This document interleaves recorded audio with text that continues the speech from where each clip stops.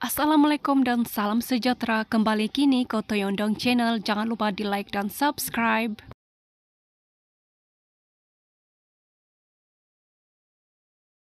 Baru-baru ini timbul desas-desus mengatakan isteri kedua pengarah Samsul Yusuf iaitu Ira Kazar dikatakan sedang hamil anak pertama. Bagaimanapun perkongsian Ira atau Fakira Fatini Kazarudin 29 menerusi Insta story miliknya pada Isnin mengundang tanda tanya dalam kalangan netizen apabila Ira melakukan aktiviti indoor bersama keluarganya. Menerusi video yang dikongsi, Ira dilihat riang bermain permainan rolling ball bersama ahli keluarga di sebuah taman tema.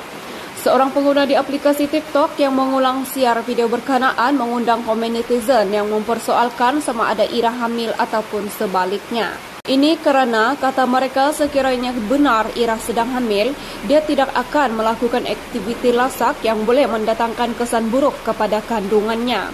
Apatah lagi jika ia adalah kehamilan pertama, pasti pelakon berkenaan akan benar-benar menjaga diri. Eh, kata mengandung, boleh pula menjatuh-jatuh, dia tak hamil kan?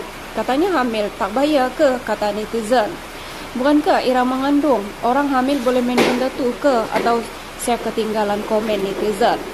Terdahulu, Bapa Samsul iaitu Datuk Yusuf Aslam enggan memberi komen berkenaan gosip mengatakan Ira sedang hamil, malah tidak mahu lagi mengulas apa-apa tentang rumah tangga anaknya itu. Dia hamil atau tidak, saya tak tahu. Saya tak nak komen, kata Yusuf.